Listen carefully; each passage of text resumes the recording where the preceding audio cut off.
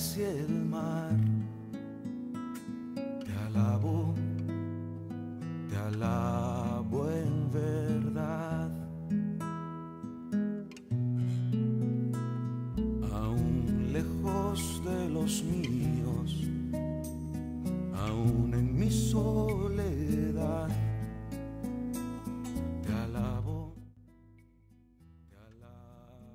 Bendito sea Jesús en el santísimo sacramento del altar.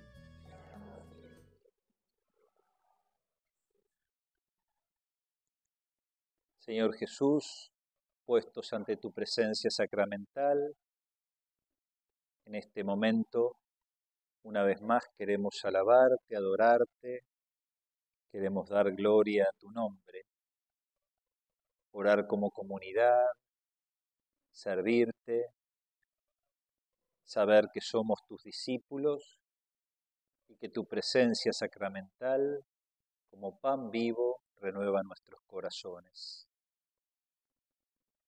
Te alabamos, te bendecimos y te adoramos, Señor. Damos gloria a tu nombre y personalmente y comunitariamente disfrutamos de tu presencia, Señor. Gloria al Padre y al Hijo y al Espíritu Santo.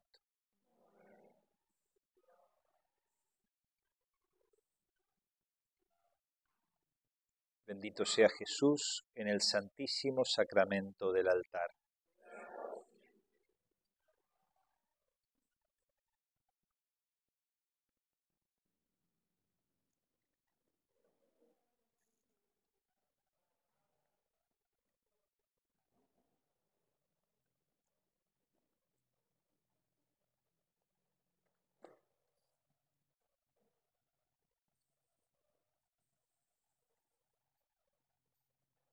Dice Jesús en Mateo 18:20, porque donde hay dos o tres reunidos en mi nombre, yo estoy presente en medio de ellos.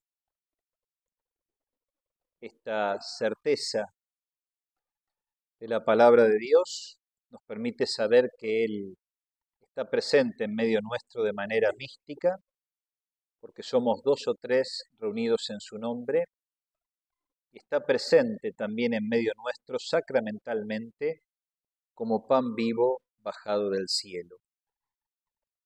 En este espíritu personal y comunitario, hoy queremos rezar ante Jesús sacramentado y vamos a tener dos pequeñas ¿eh? meditaciones, iluminaciones y unos momentos de desiertos para poder orar de manera personal. El título que elegí en este año de la oración, preparándonos para el jubileo del año que viene, que nos invita a celebrar el Papa en clave cristológica, es esta frase que tienen también ustedes ahí en la hojita, tomada de los discípulos que le dicen a Jesús, Señor, enséñanos a orar, así como Juan enseñó a sus discípulos. Señor, enséñanos a orar. Eh, esta frase de alguna manera da el título a la primera de las iluminaciones de las meditaciones, que la titulé Conscientes de nuestra debilidad para orar. Si los discípulos piden ¿eh? al maestro que les enseñes a orar, es porque evidentemente les cuesta orar. Y hoy nosotros, discípulos del siglo XXI, tenemos que renovar el pedido a Jesús. Señor, enséñanos a orar. Podemos tener muchos años de vida en la iglesia, podemos saber muchos métodos de oración, formas de oración, podemos ser laicos comprometidos, consagrados. Eh, yo soy obispo y sin embargo siempre tenemos que confesar con mucha humildad que no sabemos orar. De hecho, ahí pongo un texto en la hojita, lo tienen, lo pueden seguir en sus Biblias o en la hojita, está la Biblia del pueblo de Dios, Romanos 8, 26, 27. Igualmente el mismo Espíritu viene en ayuda de nuestra debilidad, porque no sabemos orar como es debido. Pero el Espíritu intercede por nosotros con gemidos inefables. Y el que sondea los corazones conoce el deseo del Espíritu y sabe que su intercesión en favor de los santos está de acuerdo con la voluntad divina.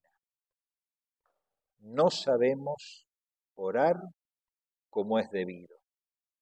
Viene en ayuda de nuestra debilidad.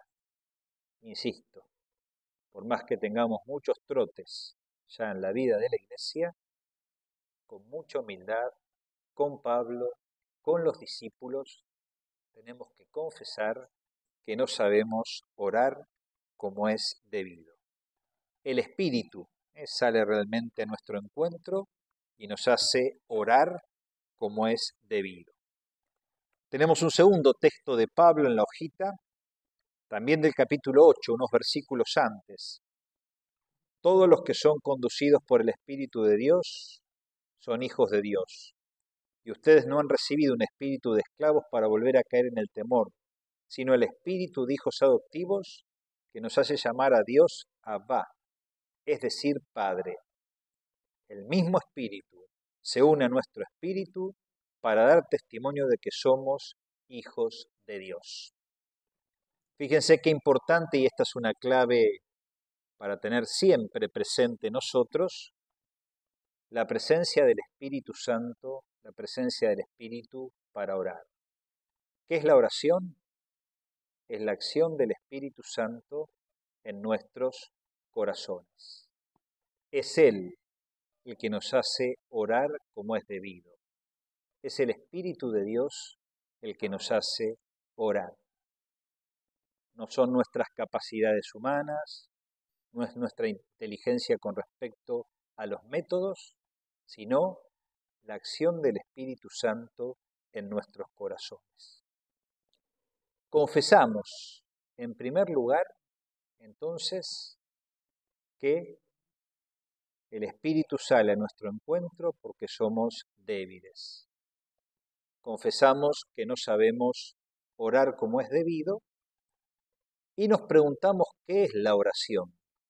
Porque también a veces en el camino de nuestra vida, corremos el riesgo de perder de vista, confundir o entender la oración de forma unilateral.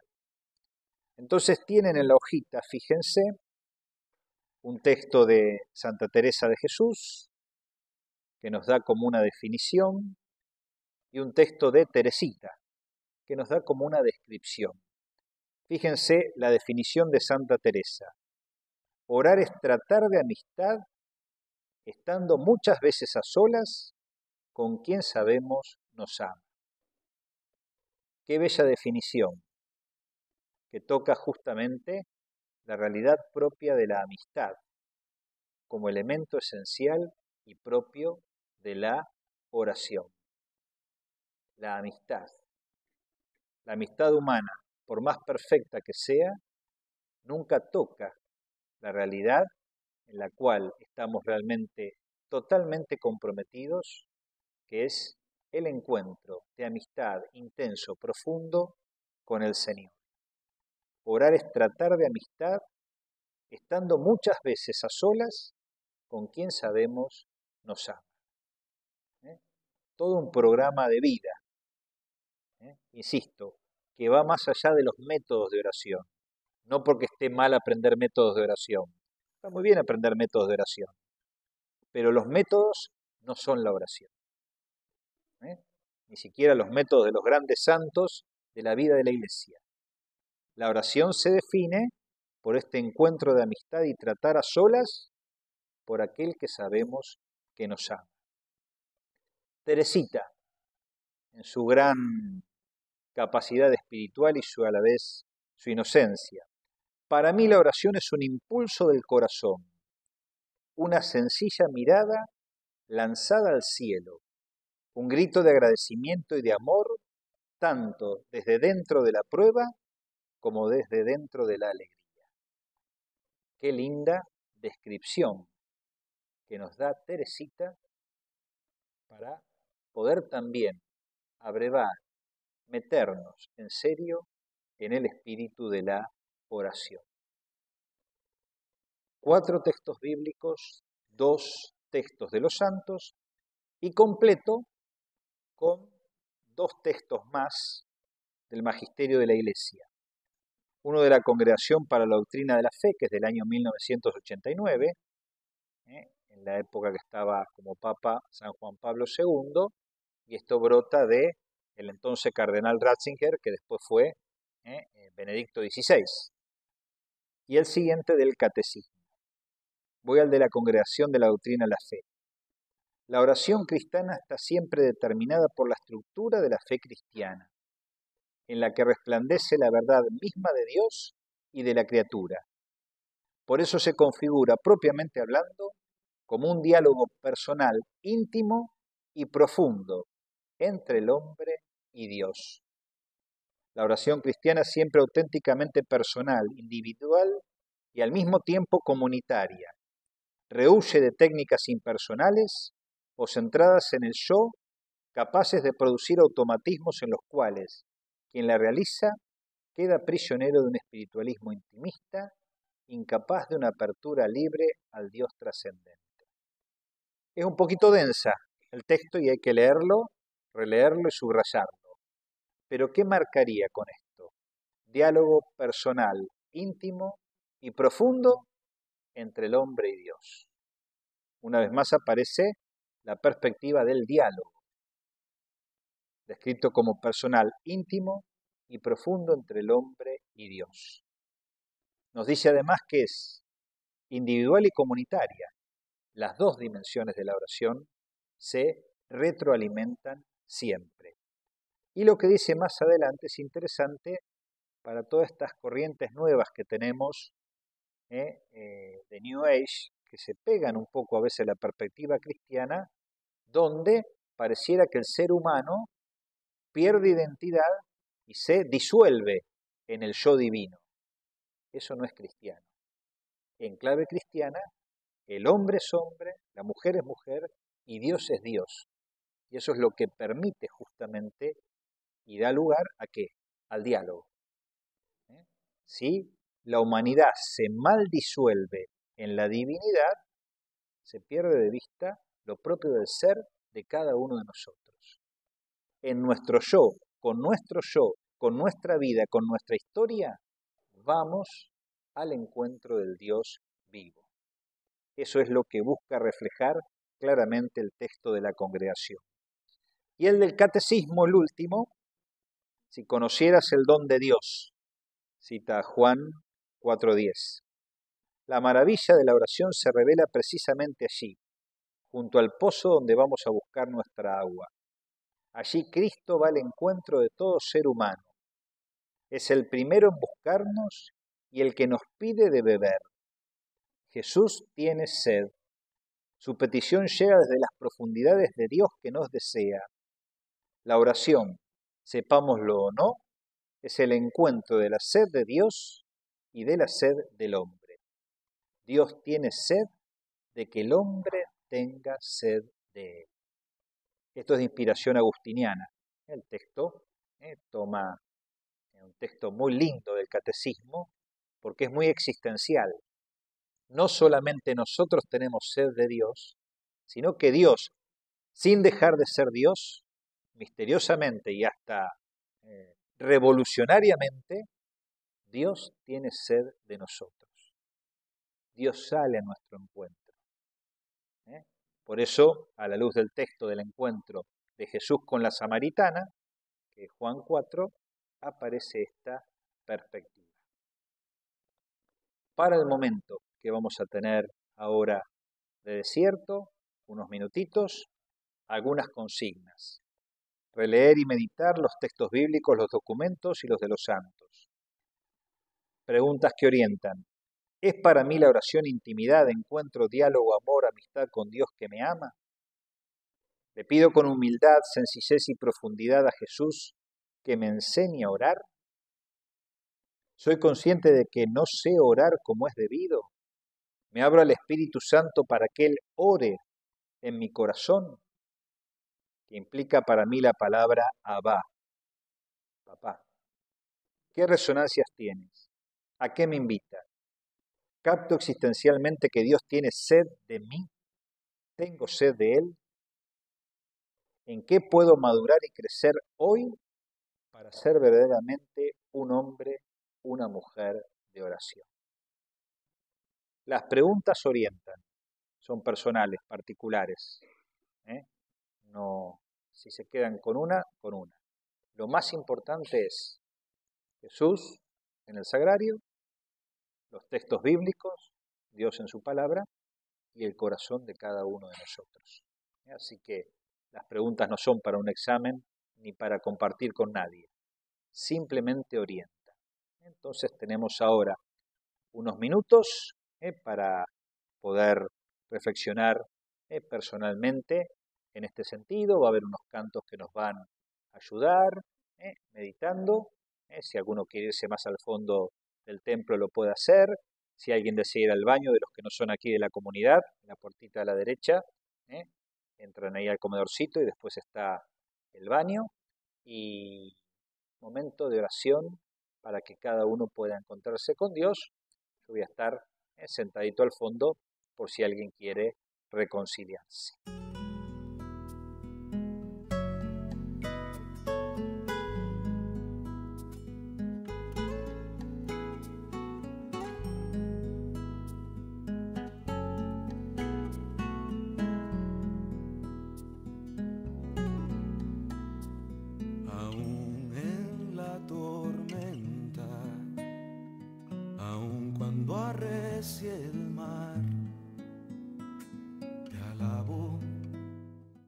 Centro de la presencia sacramental del Señor, su palabra y nuestro corazón. Vamos a hacer ahora nuestra segunda meditación. a alguno le falta la hojita, levante la mano que ahí la segunda hojita Nadia está repartiendo.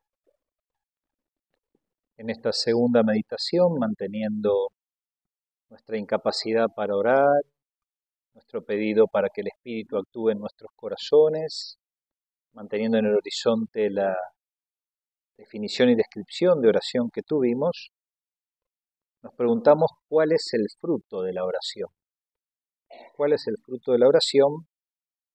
Y ahí pongo cuatro puntitos. Me pasé con uno. ¿eh? Así que no son tres, sino uno más esta vez. No lo podía reagrupar, así que son cuatro puntitos porque estamos en una meditación y tenemos la hojita. Primer fruto de la oración, discernir la voluntad de Dios. Segundo fruto, el amor al prójimo.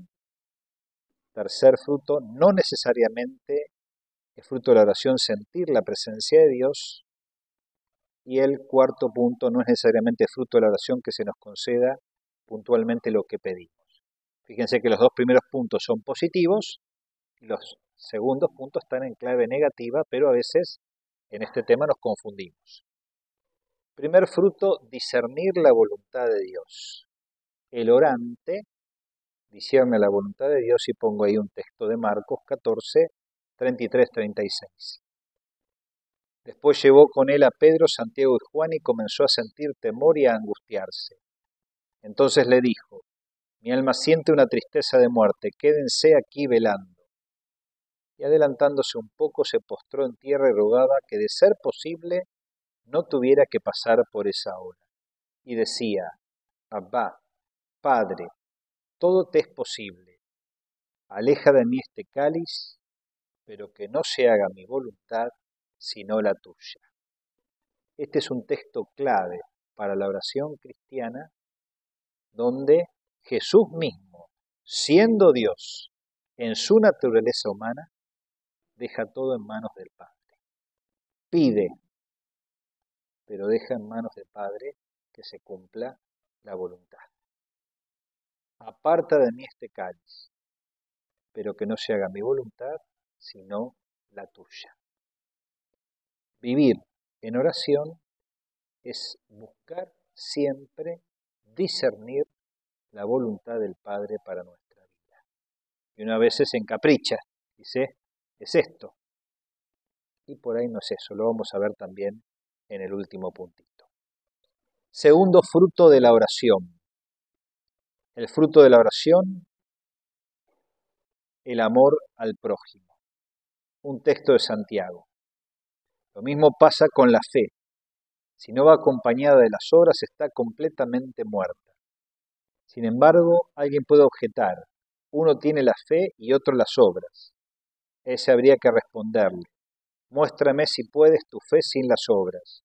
En cambio, por medio de las obras, te demostraré mi fe. ¿Tú crees que hay un solo Dios? Haces bien. Los demonios también creen y sin embargo tiemblan. La fe y las obras no son un carisma. Uno puede tener un carisma mayor sensibilidad para los enfermos, para el trabajo con niños, para el servicio educativo, para la pastoral de la salud, para liturgia, para la catequesis. Son carismas particulares. Fe y obras, oración y eh, realidad concreta de la historia y de la vida siempre tienen que estar presentes en la vida del discípulo misionero. Entonces, la oración es auténtica se plasma realmente en la vida y en las obras. Alguien puede escribir que está en el séptimo cielo, pero si no tiene caridad y compromiso con el hermano, con el prójimo, ese séptimo cielo es más de viri que de realidad concreta y puntual. Refuerzan esto dos textos del documento de la Congregación para la Doctrina de la Fe de eh, cardenal Ratzinger en su momento. Ahí cito una partecita del 8 y del 13. Para los padres, los padres de la Iglesia, el signo auténtico de un conocimiento superior fruto de la oración es siempre el amor al prójimo. Siempre el amor al prójimo.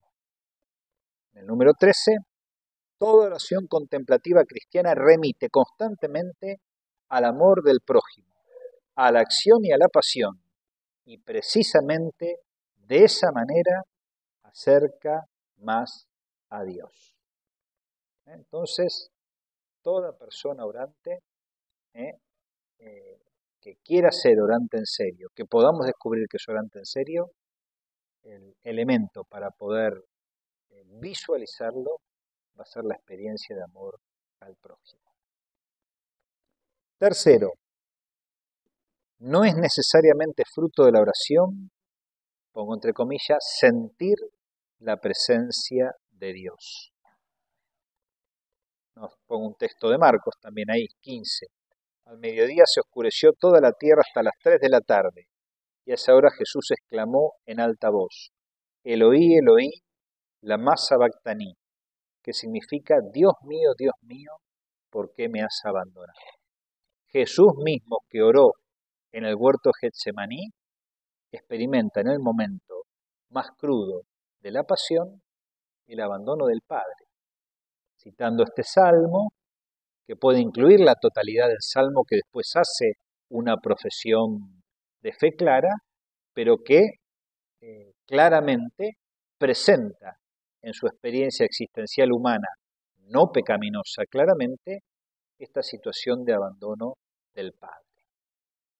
Se puede ser un gran orante y no sentir. Santa Teresa de Jesús, doctora ¿eh? en, en la vida de la iglesia, particularmente por la oración, varios años estuvo experimentando justamente esta sequedad, esta soledad. Fíjense el texto de la Congregación para la Doctrina de la Fe, en el número 30. Vendrán tiempos en los que le parecerá vagar en un desierto y a pesar de todos sus esfuerzos, no sentir nada de Dios. Es precisamente entonces cuando la oración constituye una expresión de su fidelidad a Dios, en presencia del cual quiere permanecer incluso a pesar de no ser recompensado por ninguna consolación subjetiva. Entonces, fíjese, la oración ¿por qué se mide? ¿Por lo que sentimos o por la fidelidad al tiempo de oración? fidelidad al tiempo. Orar me hace bien cuando siento y orar me hace bien aunque no siento. ¿eh? A veces entramos en esta cosa un poquitito preadolescente, bueno, yo hago lo que siento. La preadolescencia está bien, ¿eh? que uno haga lo que sienta, pero ya cuando pasamos los 17, digamos, ¿eh? Creo que tenemos que ser un poco más madurito y no hacer solo lo que sentimos, sino hacer lo que nos hace bien. No siento la oración, pero sé que orar me hace bien. Fidelidad al tiempo a pesar del desierto que experimento. ¿eh? Es clarito el texto de este, sobre de Ratzinger con respecto a esto. Fidelidad al tiempo de oración. Último de los frutos de la oración en perspectiva negativa, no es necesariamente fruto de la oración que se nos conceda puntualmente lo que pedimos. Texto de Lucas 11. También les aseguro, pidan y se les dará, busquen y encontrarán, llamen y se les abrirá, porque el que pide recibe, el que busca encuentra y al que llama se le abre. ¿Hay entre ustedes algún padre que da a su hijo una piedra cuando les pide pan? Y si pide un pescado, ¿le dará en su lugar una serpiente? Y si le pide un huevo, ¿le dará un escorpión? Si ustedes que son malos saben dar cosas buenas a sus hijos, cuánto más el Padre del cielo dará el Espíritu Santo a aquellos que se lo pidan. ¿Está mal pedir cosas concretas? No, no está mal. Sobre todo si pedimos cosas buenas. ¿eh? Si pedimos que al vecino se le prenda fuego la casa porque hace ruido molesto, bueno, Dios no nos va a conceder eso, ¿eh? al menos como pedido, y estaríamos pecando.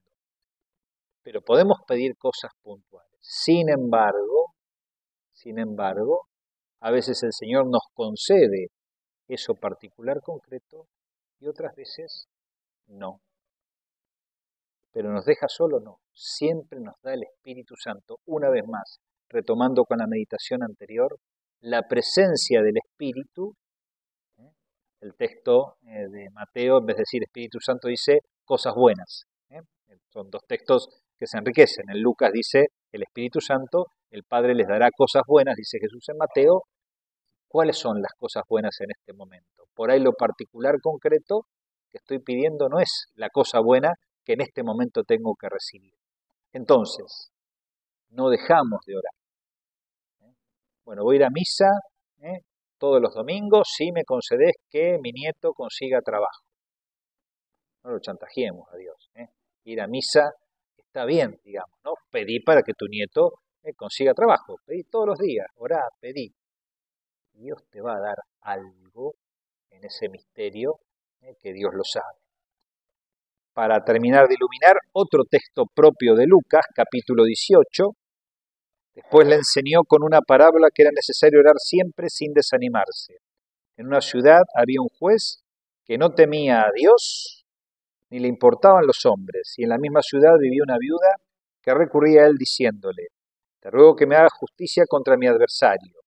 Durante mucho tiempo el juez se negó, pero después dijo, Yo no temo a Dios, ni me importan los hombres, pero como esta viuda me molesta, le haré justicia para que no venga continuamente a fastidiarme. Y el Señor dijo, Oigan lo que dijo este juez injusto.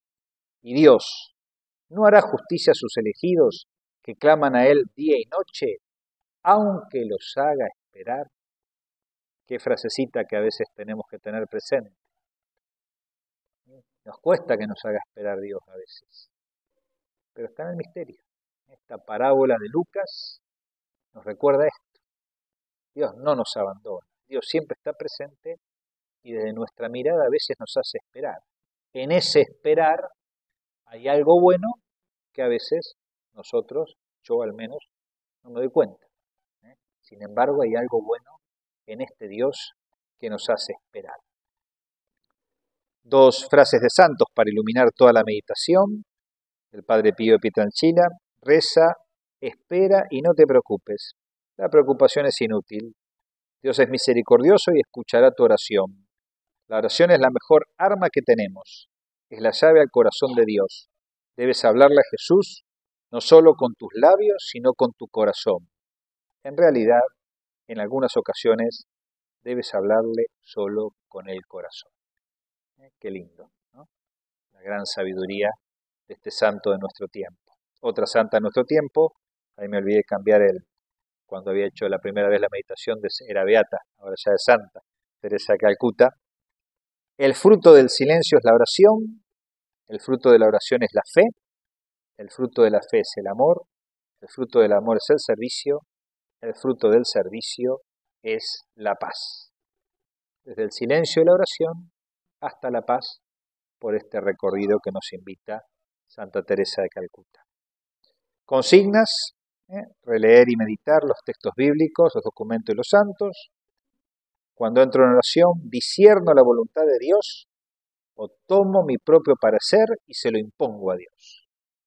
A veces, casi sin darnos cuenta, le imponemos a Dios nuestro propio parecer. Me cuesta cumplir la voluntad de Dios. Valoro la calidad de mi oración en función del amor al prójimo o me concentro en las sensaciones interiores. Acepto que puedo experimentar vacío en la oración y que esto no significa ninguna situación de pecado. Soy fiel al tiempo de oración cuando experimento sequedad en mi vida espiritual. Acepto que el Señor me dé siempre el Espíritu Santo para orar como es debido. Una vez más, las preguntas se orientan. Lo más importante, Jesús sacramentado, Dios en su palabra y el corazón de cada uno de ustedes. Otros minutitos ¿eh? para reflexionar, para meditar, para orar y después hacemos la bendición con el Santísimo para coronar este momento de encuentro personal y comunitario